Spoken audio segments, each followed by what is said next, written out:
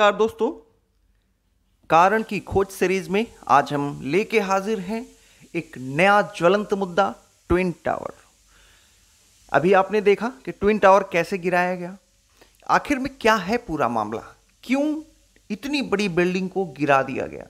क्यों इतनी लागत से बनी हुई बिल्डिंग को इतनी ज़्यादा लागत से उसको गिराया गया?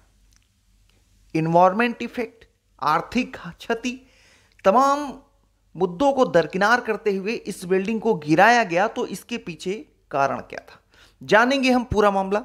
चलिए, समझते हैं एकदम शुरू से। दरअसल, नवंबर 2004 में new Okhla industrial development authority Noida ने सुपरटेक को ज़मीन आवंटित की थी और 2005 में इसको मंजूरी मिली। तो छियासी के तहत भवन निर्माण को मंजूरी प्रदान कर दी गई। उसके बाद 2005 में एमराल्ड कोर्ट नाम से एक ग्रुप हाउसिंग सोसाइटी का निर्माण शुरू किया गया। 2006 में 11 फ्लोर के 15 टावरों में कुल छह फ्लैट के निर्माण के लिए प्लान तैयार किया गया और इसमें इन्होंने बदलाव किया। 2009 में सुपरटेक ने नोएडा प्राधिकरण के साथ मिली भगत करके एक ट्विन टावर का निर्माण शुरू किया। इसके तहत 14 टावरों एक शॉपिंग कॉम्प्लेक्स के निर्माण को मंजूरी दी गई। और इसी समय 2006 में सुपरटेक को उन्हीं शर्तों के तहत अतिरिक्त ज़मीन आवंटित कर दी गई। और ये जो टावर टी सिक्सटीन और टी सेवनटीन थे, इन्हीं पे पूरा मुद्दा था।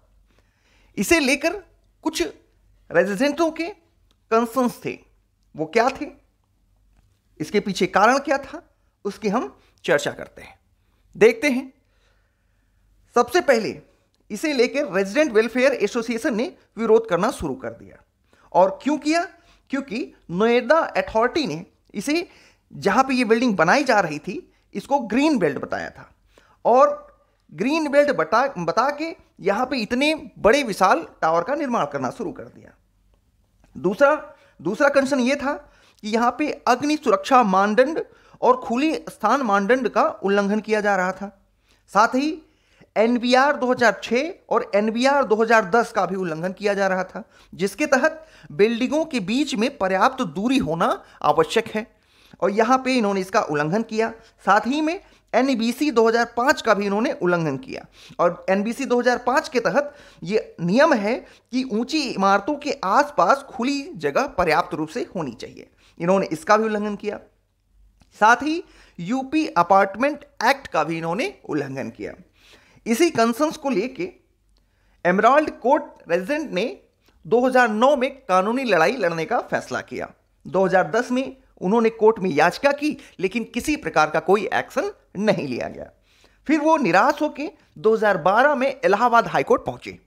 इलाहाबाद हाईकोर्ट ने मामले की त्वरितता को देखते हुए इस बिल्डिंग को अवैध निर्माण करार दिया और डिवोल्यूशन का अधिकार दे दिया।